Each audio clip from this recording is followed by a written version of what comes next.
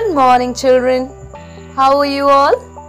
I hope you all are healthy and staying well at home. I'm your teacher, Simiran from Kerala Public School, Gamharia. Today we are going to do maths notebook work. So now let's begin.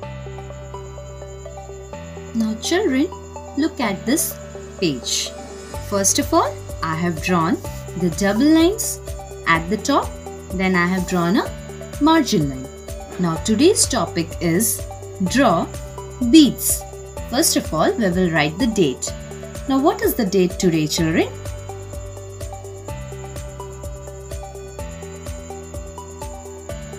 Now write 2, 4, give a dot, 9, then give a dot, 2, 0. Now children, the first number is number 6. Now we have to draw 6 beads. So let's start. 1 bead, 2 bead, 3 bead, 4, 5 and 6. So we have drawn 6 beads.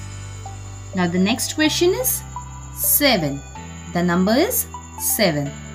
So let's draw 1, 2, 3, 4, 5, 6, 7.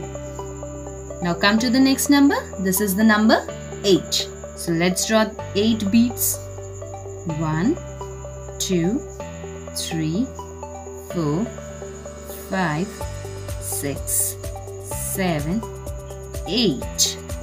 Now come to the next number. This is the number 3. So we have to draw only 3 beads. 1, 2 and 3. Now come to the next number. This is the number 9. So we have to draw 9 beads.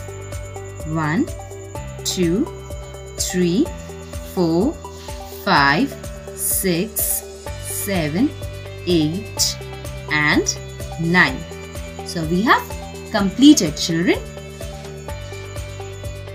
Do this exercise at your maths notebook clearly and properly. Till then, stay healthy, stay at home, and stay safe. Thank you, my children. Have a great day.